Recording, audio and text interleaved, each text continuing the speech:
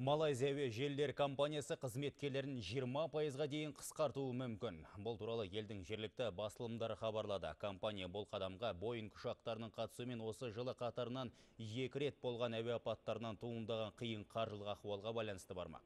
Малайзияның негізгі ұлттық әуе тасымалдаушысы бұл қысқарту кезінде бірнеше мың қызметкермен қатар оның басшыларын да жұмыстан шығару ықтимал. Компанияның бірінші тоқсанындағы шығындары рекордтық деңгейге жетіп 137 миллион долларды құраған. Ал қазір әзірленіп жатқан екінші тоқсанның қаржылық есебінің нәтижесі одан да нашар боларына күмән жоқ дейді сарапшылар. Осыған дейін ел үкіметі Малайзия әуе желілерін жеке меншікке сатуды жоспарлап отырғанын мәлімдеді.